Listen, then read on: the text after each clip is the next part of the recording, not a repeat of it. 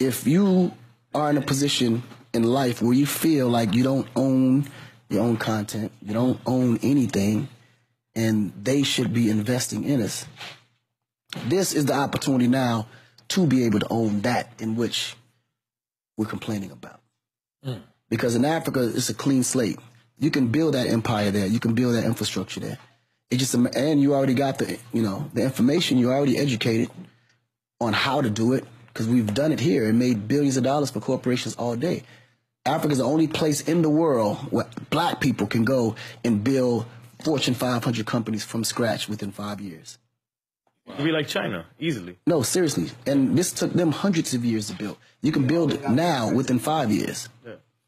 China took that same, you know, mind state 25 years ago. China was no different from Africa 25 years ago. Go to China now.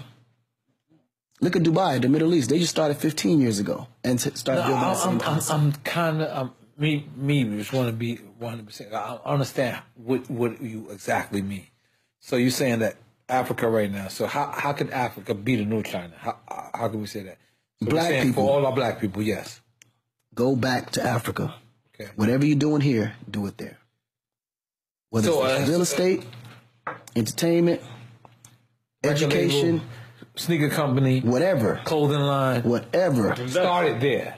Do it there. Don't even start it. Do it there. It's gonna grow out of there anyway. But Africa's big enough you won't ever have to need no other country anyway.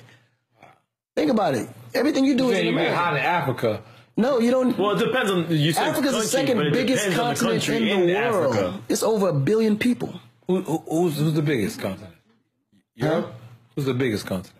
Well, it's continent and country. Asia is the biggest continent. Asia. That's Then China, Africa. Korea. It's it's it's all them Russia, in, in India. India, all them put together though. Right. That makes Asia, right. and it's not that much bigger than Africa. And Africa's the second biggest continent Wow. with more natural resources with, as well. with all the natural resources. right. Oh. That's the difference. Oh. So we got we got a, literally got a pot of gold, and nobody even going for it. Exploited by outsiders. How do we well. start this? How do we start? How do we start to say, you know what? Let's invest back in the motherland. Let's. let's I think the key is, you know, first of all, you got to release the fear because a lot of you know African Americans are afraid to go to Africa. no, because I'm not Because gonna lie. but I'm not yeah, gonna yeah. Which I mean, naturally, I, I was offered so many shows to Africa. I'll be honest. And then they told me I could get shots, and I was like, I'm, I'm good. Mhm.